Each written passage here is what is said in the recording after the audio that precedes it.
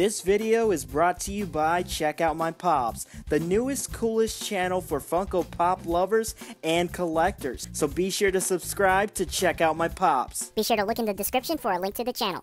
What's up, everybody? My name's Joey Corbin, and welcome back to another episode of Check Out My Pops. This time, we're going to take a look at one of my favorite scary, you know, He's not really scary, but he's awesome. He's um, from a scary movie called Child's Play. So yeah, we got Chucky here, you guys. I got two Chuckies, actually. I got one that's an exclusive. That's this one right here. It's a 25th anniversary exclusive, and it's got blood all over its hair, all over its face. It looks amazing. But yeah, these are real. Oh, and I accidentally said uh, Child's Play earlier, I think. That they're Child's Play 2. Ah! Yeah, these are awesome. I love Child's Play. I love Chucky. I just love the whole thing. As I've been a fan ever since I was a kid. I just been watching the movies, you know, every time they come out. I'd be in the theater. Um, but yeah, so we're going to open up these bad boys. But before we do, let's take a look at the box. The box doesn't have much to it because there's you, you can only get Chucky in this series. Of course, there's two different kinds of Chucky,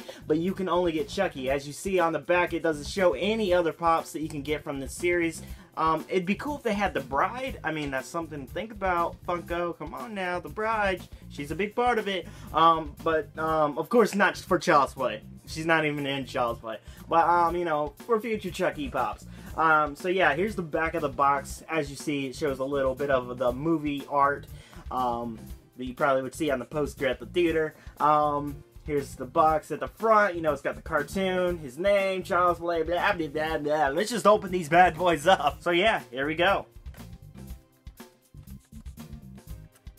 Alright, now that we have them both out, let's first take a look at the normal Chucky. Now this version of Chucky has no blood, not even the knife has any blood on it, but other than that, this figure looks awesome. I mean seriously, there's no overlapping paint, well except a little by the hair, but other than that, there's nothing else really overlapping. The hair looks really good, the choice of colors they picked for the paint looks amazing, and I have to say I'm actually glad they decided to make the Chucky from the Child's Play movie movies.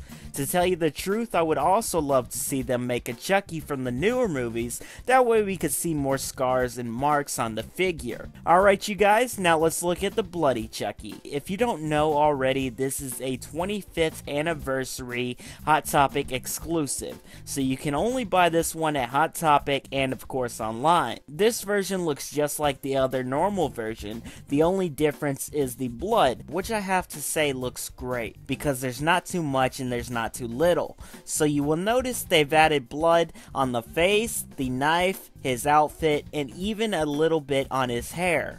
Now, out of the two, this one is my favorite for obvious reasons, such as the blood and the sticker that says it's a 25th anniversary Hot Topic exclusive. Alright, so I hope you guys enjoyed checking out both of the Chuckies from Child's Play 2. Really, really awesome job on the blood on this one. I don't know why, but I just love Pops even more when there's blood all over them.